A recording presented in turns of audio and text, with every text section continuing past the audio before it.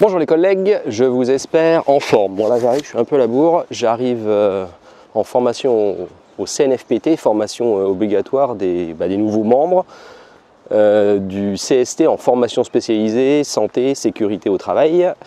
C'est pas mal, on a un formateur qui est sympa, Julien, il est sympa, intéressant, on apprend plein de trucs qui vont pouvoir nous servir pour, pour améliorer les conditions de travail des agents au conseil régional, donc c'est top, je vous en reparlerai. Pourquoi je vous fais cette vidéo? Parce qu'on a reçu, euh, vous êtes comme moi, vous avez reçu un message du, euh, directeur général des services euh, qui, euh, qui nous annonce la fin du Covid. Euh, où je vais non, non, c'est pas par là, c'est par là. Bonne nouvelle, fin du Covid.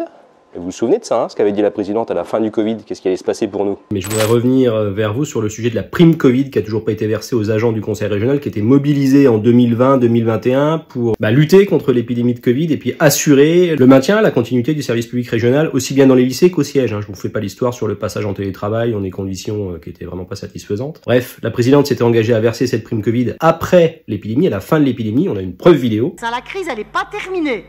On ne sait pas ce qui nous attend, donc il conviendra, d'examiner la situation en 2021. Fin du Covid égale prime Covid. C'est un argument supplémentaire pour demander à la présidente une augmentation de nos primes et puis surtout le versement de cette prime Covid qu'elle s'était engagée, elle, à verser à la fin de l'épidémie. Donc fin du Covid égale prime Covid pour les agents. Ouais les collègues, je suis obligé de stopper cette vidéo parce que euh, j'ai reçu pas mal de messages, une information euh, vient de tomber. Il y a un poste de directeur général des services qui a été publié en ligne et qui concerne notre collectivité. Donc si euh, j'en crois ce poste qui a été publié, le, le DGS serait sur le départ chez nous. Le poste de DGS serait à pourvoir au 1er avril 2023, donc c'est quand même bientôt, avec des limites de candidature qui sont fixées au 17 mars. Euh, il y a une petite gagade dans l'annonce, c'est pour ça que je, prends cette information avec des, pincettes, c'est qu'à un moment donné c'est marqué que c'est un directeur général adjoint des services qui est recherché. Mais tout le reste de l'annonce correspond bien à un poste de directeur général des services euh, pour, euh, pour le Conseil régional de Wallon-Franche-Comté. Donc information importante parce que va ce, ce renouvellement, si c'est euh, si c'est bien confirmé, si on cherche bien, si la présidente cherche bien un nouveau directeur général des services pour le Conseil régional de Wallon-Franche-Comté, eh bien euh, ce remplacement va percuter euh, les négociations qu'on a actuellement sur la hausse des primes pour les agents parce que euh, ça tombe bah, évidemment en plein dans les, dans les négociations.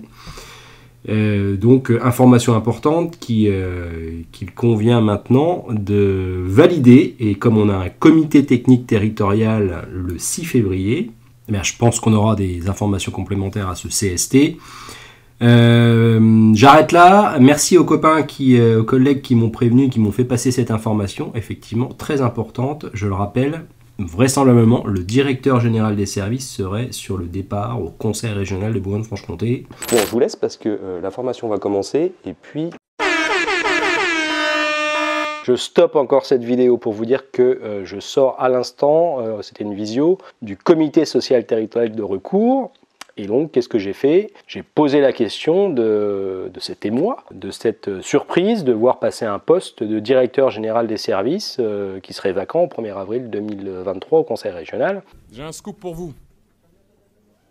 Et donc j'ai la réponse. La réponse, c'est qu'effectivement, le détachement de l'actuel directeur général des services se termine bien au 1er avril 2023. Et donc la collectivité, elle a publié un poste pour dire, bah, ce poste sera vacant au 1er avril 2023. Ça ne veut pas dire que le directeur général des services quitte le conseil régional. Ça veut dire qu'il peut recandidater sur son poste pour continuer ses missions de DGS. Et ce qui a été dit en comité social euh, territorial, là, c'est que le DGS compte bien recandidater, reproposer euh, euh, sa candidature à la présidente du conseil régional pour continuer euh, ses fonctions de DGS à la région Bourgogne-Franche-Comté. Voilà, vous avez l'explication, je voulais vous le dire, comme ça, cette vidéo, elle est un peu, un peu particulière, mais cette vidéo, elle est complète.